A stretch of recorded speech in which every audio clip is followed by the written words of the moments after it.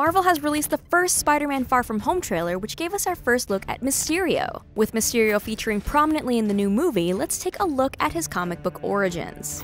The name Mysterio actually refers to four different Marvel villains dating all the way back to 1964. While there's been no official confirmation of which version Jake Gyllenhaal is playing, the safest bet is the first and most prolific of the lot, Quentin Beck, who premiered in The Amazing Spider-Man number 13 in 1964. Beck's vintage origin story is your typical 60s superhero fare. He was a struggling special effects artist and wannabe actor who eventually realized that his skills as an artist could be used to turn a real profit, if he used them to build a villainous alter ego.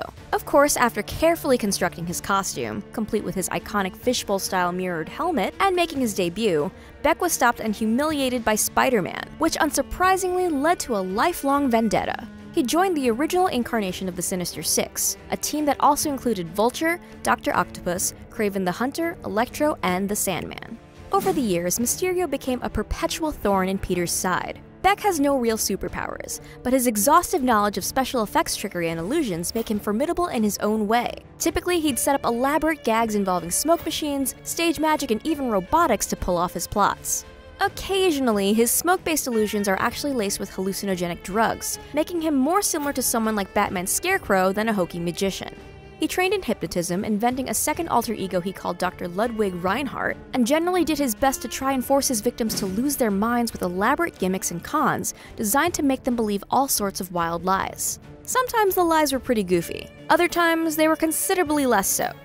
He tried to force Peter into believing he'd been shrunk down to action figure size. He later tried to con Aunt May out of house and home using a revolving door of disguises and assumed identities designed to gaslight and confuse her.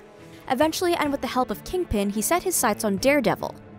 At one point, he actually tried to convince Matt that a baby was the biblical Antichrist. True story. That particular plan didn't work out all that well and ended with Beck apparently committing suicide after Daredevil unmasked and beat him within an inch of his life. Of course, in typical comic book fashion, the death didn't stick. And although Beck's resurrection was never completely explained in any concrete way, the simplest answer was that he had staged his own death and gone into temporary hiding. Though some stories insinuate that he really did die, and in fact spent some time in hell before being magically revived. Beck resumed his antics, rejoining the Sinister Six as the need arose. He briefly retired and built himself a robot daughter, don't ask, in Las Vegas, but was prompted to pick up the Mysterio mantle again after getting wrapped up in some complicated demonic dealings with Ben Reilly, the Scarlet Spider. All told, Mysterio's place in the Marvel Universe is malleable. He's a bit less prolific and recognizable than some like Green Goblin or Dr. Octopus, and that slightly less than top tier notoriety coupled with his expansive repertoire of skills means he can fit into stories in any number of ways. He's been the campy comic relief, the dangerous mastermind, the bumbling glory hound, and the vicious sociopath, depending on the needs of the moment. Thematically speaking, it seems more likely that we're going to be seeing Gyllenhaal as one of Beck's softer sides in Far From Home, especially considering the multi-layered approach Homecoming took to his Sinister Six teammate Vulture. It's certainly not impossible that we're going to see a Mysterio on the big screen who's as furious at Spider-Man for ruining his shot at fame and stardom, but it's maybe a bit improbable. There's also the potential for Gyllenhaal's character to borrow from the other incarnations of Mysterio.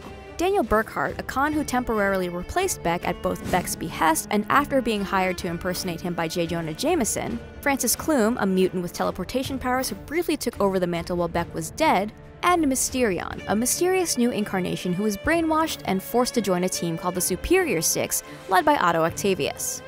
While none of the other Mysterio mantle wearers have quite the history that Beck does, the MCU's willingness to play fast and loose with classic characters means they probably shouldn't be ignored. What do you think of Mysterio? Let us know in the comments below, and for more videos on Spider-Man Far From Home, be sure to subscribe to GameSpot Universe.